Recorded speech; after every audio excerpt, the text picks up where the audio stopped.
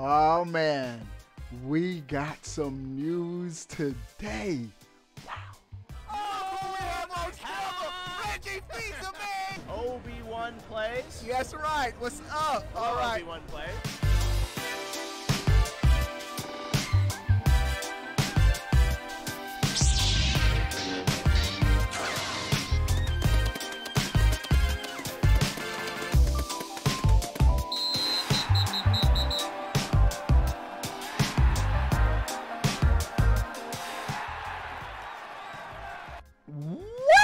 Is going on, everybody? How are y'all doing? Before we get started with the video, you already know the vibes, bro. Give it a thumbs up, like, like, like, like, destroy that like button, and PlayStation 5 console giveaway on the channel. Make sure one, you're subscribed to this YouTube channel. Two, follow me on Twitter. The giveaway is gonna be lit. Let's get to the first. The first news item is pretty dope, bro. Twisted Metal remake coming to a console, PlayStation console near you. That's right. According to Tom Henderson, an industry insider who has correctly leaked Call of Duty and Battlefield information before, has um, revealed that a Twisted Metal remake will be coming in 2023. This is coming from gamingbible.co.uk. And I still remember playing the original Twisted Metal on the PlayStation 1. Sweet Tooth, iconic um, character.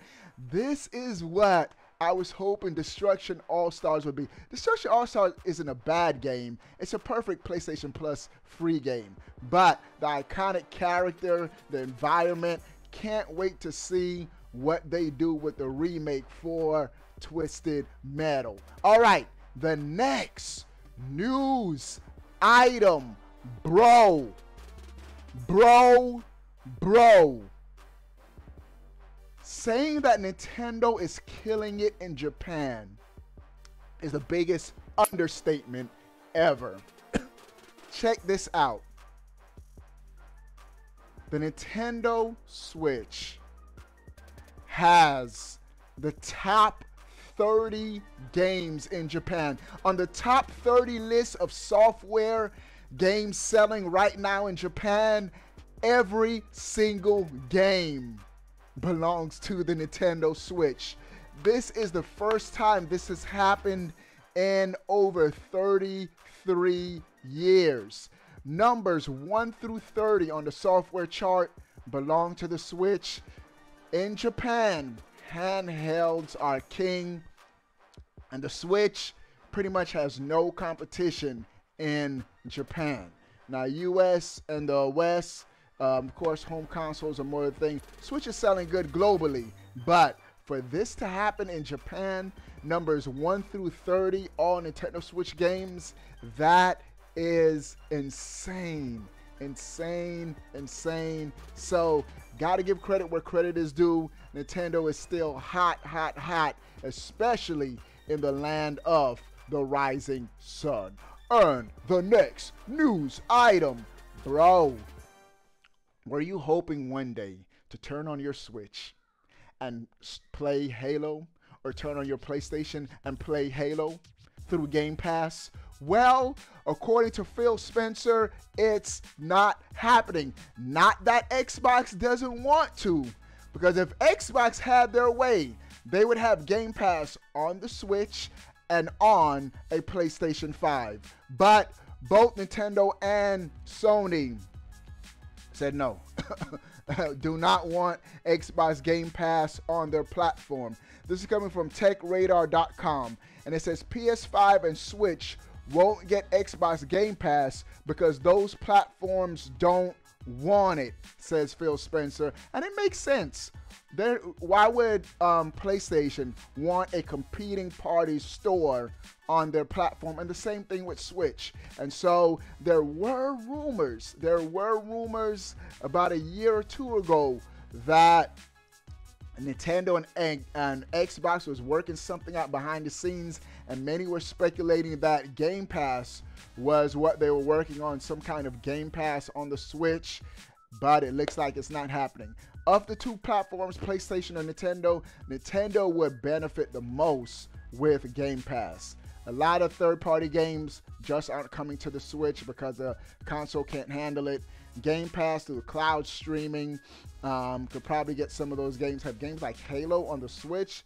That would go crazy, bro. That would go insane. Even though Nintendo does allow a lot of some third-party games to be streamed that can't run natively, Game Pass definitely would have gave the console a boost. But like I just said in my last news item, it's not like Nintendo needs Xbox or to the effect Sony because the PlayStation 5 um, earned the most money in NPD charts last um, this past month. So Game Pass, um, if you want to play Game Pass, you got to stick to an Xbox console or PC, boy. And the next news item, bro. Call of Duty has leaked. The next Call of Duty game has leaked and it's um, said to be called Call of Duty Vanguard, and the reveal is set for August 19th in Warzone. Um, and the PlayStation Store has leaked the reveal. This is coming from GameSpot, GameSpot.com. An image on the PlayStation Store says Vanguard will be announced through Warzone this week. Now, Everything I've heard so far about this leak, Call of Duty fans are disappointed. I think primarily because of the setting. It's going to be set in, I think, World War II, and it's not going to have the, the flare and all the um, latest guns or whatnot. But I think um, COD is still going to tool the guns and the weapons to make the game enjoyable and fun.